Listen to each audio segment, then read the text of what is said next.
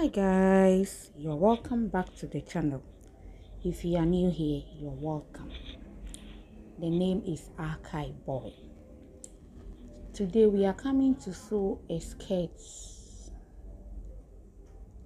a fitted skirt joined at the knee with a flare. So if that's what you want to learn then let's get right into the video so the measurement i'm working with you measure from your shoulder to your knee. Shoulder to the knee is 20 inches. So that's what i'm marking now.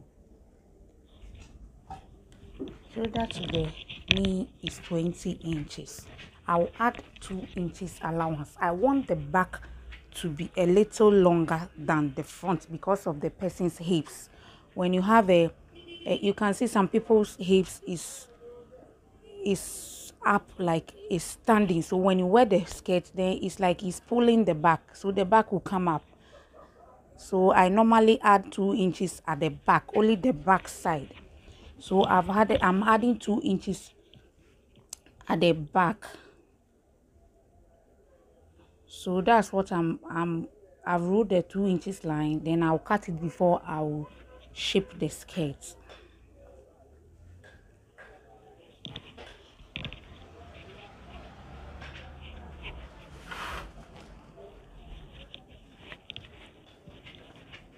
so now we are coming to cut the flare that will join at the knee the length of the flare is 12 inches. So you cut 12 you fold it into four then you fold it again. So it will be 360 flare like a full flare.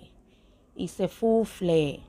So you divide your knee into eight then you use it to cut the flare so if the knee is 20 you divided you divide it into 8 it will be 5 inches. So you use it to cut the flare. Then the length is 12 inches. The skirt is three quarter sleeve. It sorry three quarter skirt. So that's what i'm coming to mark now. I'm marking the 5 inches. Then i'll mark the the 12 inches so the length is 12 inches. So that's what i'm marking now. So after that then we shape the skirt.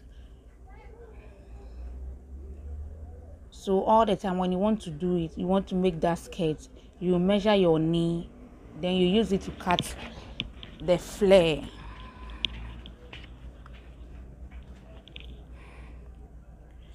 So when you cut it and it's small you can cut it again then you get the measurement that you want. So all the time when you're cutting add about two inches to the length. If it's 10 make it 12 so that when you finish and too small then you can cut it then you get your measurement and the length that you want. So i finished cutting the flare that we'll use to join the knee. So now we'll cut the upper body of the skirt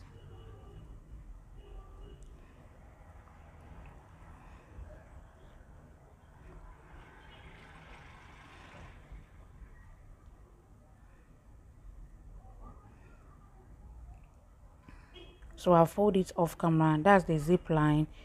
So the back is on the uh, the front is on the back. Uh -huh. so you mark one inches in the front. You come down by one. Then you short it but you short it by one inch is the front but the back will be same length one inch. So you connect it. You the the measurement i'm working with is the waist is 36 that's one inch. Then the sewing allowance will be one and a half inches. So that's what i've marked. Then from the shoulder from the waist to the hip is 10 so the hip is 44 so i'll mark that and add sewing allowance one and a half inches. Then the bottom part the knee is 20 inches and the sewing allowance is one and a half. So that's what i mark. So i'll connect all the lines and cut it. So i'm connecting the lines then i'll cut it. Then i'll mark my darts go to the machine go and sew it then come and show it for us to see all the time when you're making your skirt the front that is five inches and the back is five and a half. So i'm shortening the front because the back will be longer than the front. So i'm shortening it so that the back will be long then the front will be shorter.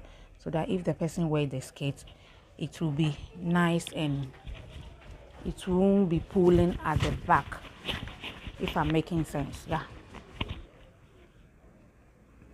So that's what i'm marking. The fabric i'm using is a silk it's a paradise yeah. It's a silk with a stretch with stretch. It stretches but it's a silk like the surface is shiny like a satin fabric but it's called paradise. It's a little thicker. So i'm cutting the one inch that we came down. So i'll now cut the side then we mark our that then i'll go to the sewing machine to go and sew it and bring it for us to see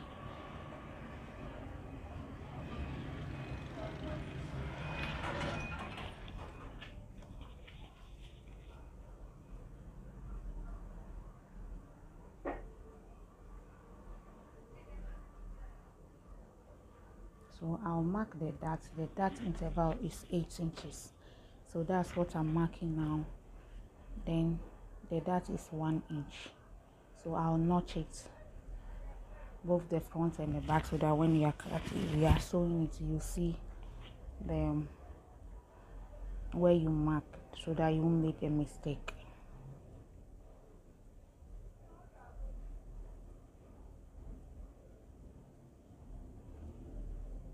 so I'm marking the skirt uh, the zip line. So that's where the zipper will come. It's 12 inches. So I'll sew the bottom part then I'll attach my make the dart then I'll shape it and bring it for us to see. So that's the flare. So the flare will join the knee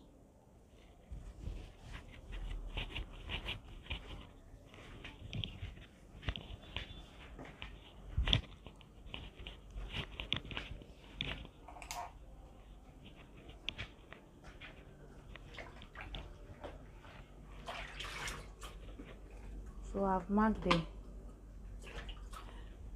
the darts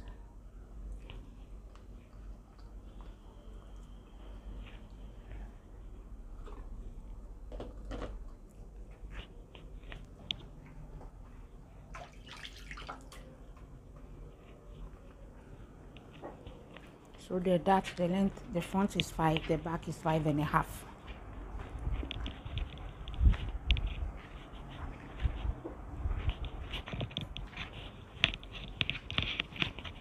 so I finished sewing the dart so now I'm going to shape it. Then I'll attach the I'll fix the zip then fix the band. Then I'll join the flare at the knee. Then I'll come and show it for us to see. So that's the measurements I've used to shape the skirt so i'm going to sew it then i'll attach the that's the flare. Then i'll attach the i'll fix the band. So i finished shaping it so i will now join the band to the you can see the back is longer than the front. That's what i wanted to explain. So all the time when you are sewing for a client and the person the person's hips is a little bigger and is push up uh, that's what I can explain. You can make the back to be longer than the front by two inches so that when the person wears the skirt the back will not be pulling up or not be it will pull up and then the person's uh, knee will be showing. That's not nice. So i finished sewing the zipper and the flare so i'm now going to fix attach the band then I'll put it on the dress form for us to see the finished look. Please subscribe to the channel like and comment. Please give the video a thumbs up. So that's the finished look. The band is one one inch. So that's the band there. It's very neat. It, it looks like ready made like you are buying it from store because of the fabric. So see how nice the skirt look it has come out nicely. So you can try it and see. So see you in the next one.